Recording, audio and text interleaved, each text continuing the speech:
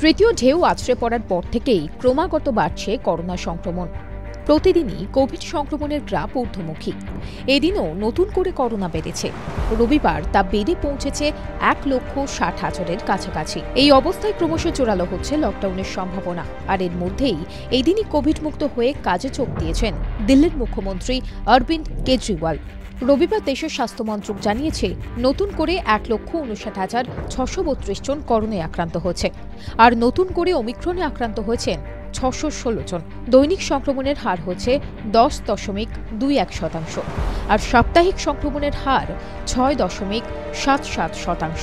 আর এই সময়ে দেশে করোনায় মৃত্যু হচ্ছে তিনশো সাতাশ জনের। ঘটনাচক্রে এদিনই কোভিড মুক্ত হয়ে কাজে ফিরেছেন দিল্লির মুখ্যমন্ত্রী অরবিন্দ কেজরিওয়াল। আর দায়িত্ব নিয়েই দিল্লির মুখ্যমন্ত্রী সে রাজ্যের কোভিড পরিস্থিতি পর্যালোচনা করেছেন। পরে জানিয়েছেন, তৃতীয় ঢেউয়ে দিল্লিতে দৈনিক আক্রান্ত বাইশ হাজারের কাছাকাছি পৌঁছতে পারে। এই অবস্থায় লকডাউনের জল্পনা উস্কে দিয়েছেন তিনি। তবে লকডাউনের মতো কঠোর পদক্ষেপ যাতে না নিতে হয়, সেজন্য দিল্লিবাসীর উদ্দেশ্যে আবেদন জানিয়েছেন তিনি। এ বিষয়ে শর্তও আরোপ করেছেন।